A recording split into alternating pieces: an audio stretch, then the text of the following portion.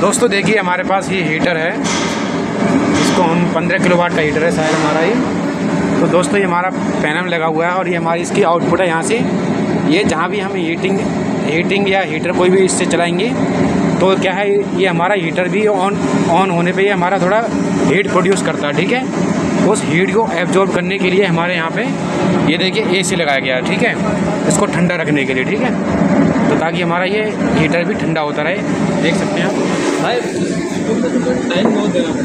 अरे ये देखिए ये हमारा पंद्रह डिग्री सेल्सियस चल रहा है हमारा ये ये हमारा है एसी ये हमारे हीटर को कूल करने के लिए है ठीक है?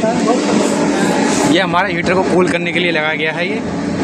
ये हीटिंग ऑब्जर्वेशन के लिए हमारा एसी लगाया गया है इसमें ठीक है?